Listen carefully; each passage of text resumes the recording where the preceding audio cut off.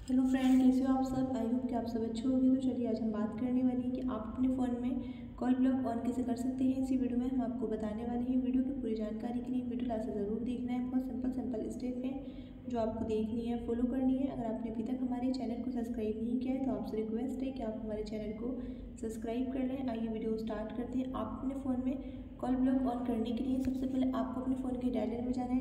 Dialer में जाने के बाद में यहाँ से आपको थ्री डॉट पे क्लिक करके सेटिंग पे क्लिक करना है। क्लिक करने के बाद में आपको यहाँ पर ब्लॉक के नंबर्स पे क्लिक करना है। ब्लॉक के नंबर्स पे क्लिक करने के बाद में आपको अनोन पे क्लिक करना है। अनोन पे क्लिक करने के बाद में यहाँ से आपके फ़ोन में जितने भी अनोन नंबर होते हैं, वो सारे यहाँ पे ब्लॉक हो जाते हैं। सेकंड ऑप्शन आपको देखने को मिल जाता है एड ए नंबर का। एड ए नंबर पे क्लिक करना है। क्लिक करने के बाद में यहाँ से अगर आप अपने फ़ोन में कोई भी पर्सनल नंबर ब्लॉक करना चाहते हैं तो आप यहाँ पर नंबर डायल करके ब्लॉक कर सकते हैं। बहुत आई होप कि आपको वीडियो अच्छी लगे वीडियो अच्छी लगे तो वीडियो को लाइक करें, शेयर करें। चैनल पर नए हो तो चैनल को सब्सक्राइब करें।